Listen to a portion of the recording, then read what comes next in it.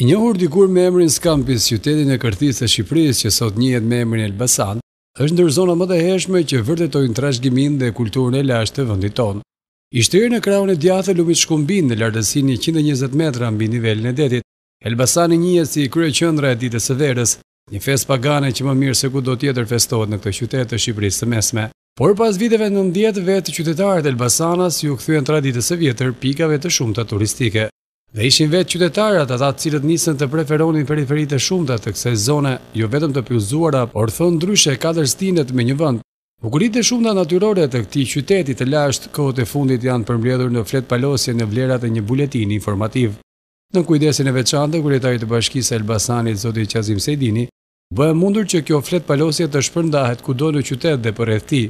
Besim Dybeli, përgjegjës i sektorit të informacionit në Bashkinë e Elbasanit, në një intervistë për televizionin Skampa, është shprehur se promovimi i zonave turistike të Elbasanit është ndër prioritetet e bashkisë dhe për të arritur sa më mirë promovimin e tyre në sferat përkatëse nga ana e kësaj bashkie, janë zhvilluar aktivitete të shumta. Bashkia e Elbasanit një ndër prioritetet e punës së saj ka dhe zhvillimin e turizmit në të gjithë territorin e bashkisë. Tashmë është kthyer në traditë promovimi i zonave turistike.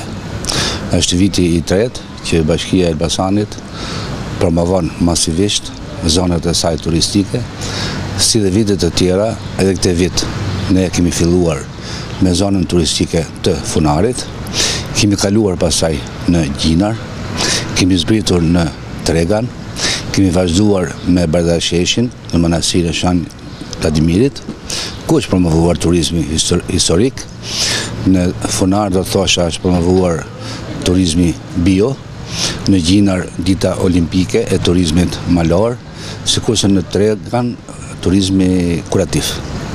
E kemi në përfundim, por kjo do bëhet në fund të gushtit, edhe ditën e emigrantit në njësinë administrative të Shushicës. Kësisoj, Bashkia e Elbasanit jo vetëm ka bërë shtrirjen gjeografike të zonave turistike, kjo pas një studimi të gjerë se çfarë resursesh natyrore dhe turistike prezantojnë këto zona.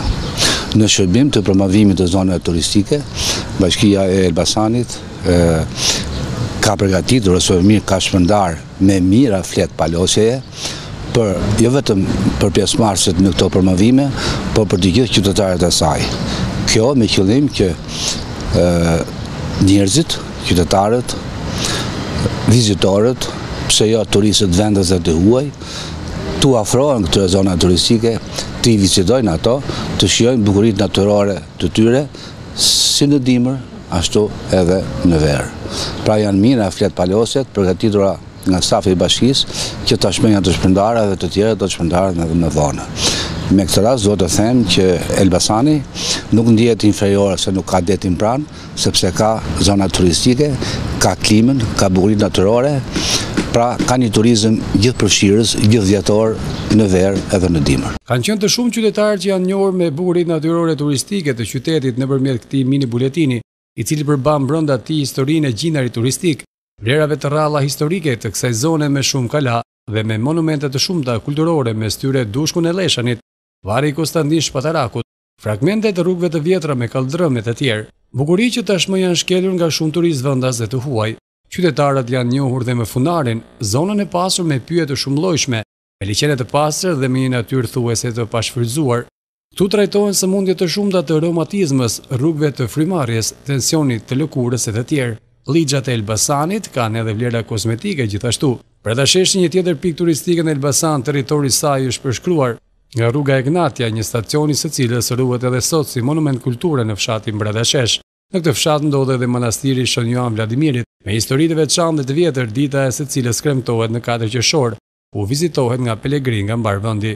Në fletëpalosje qytetarët janë njohur dhe me Shushicën dhe Byshekun e saj.